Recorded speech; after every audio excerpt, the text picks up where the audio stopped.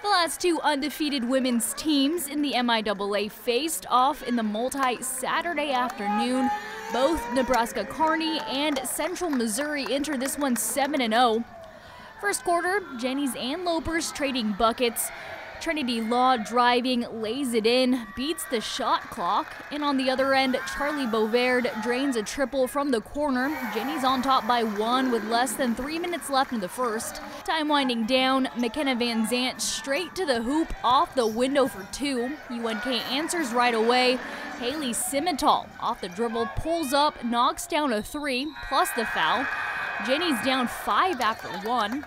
Second quarter, Grayson Holden with a steal takes it all the way for two. The freshman led the Jennies with 13 points. Midway through the quarter, Brooke Littrell, nice move in the paint, gets the floater to fall.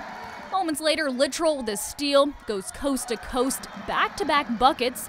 UCM down three. Littrell had 10 points. A couple possessions later, Morgan Van Hefty blows by the defense finishes through the contact. The senior had 10 points. The Jennies trailed by six at the break. Third quarter, Lopers extending their lead. Simmental with a steal gets it to Kelsey Sanger, puts it in. UNK up by 10. Jennies staying with it. Olivia Nelson attacking. Scoop shot is good, but the Lopers answered all game long. The Jennies suffered their first loss of the season to UNK 68 to 56.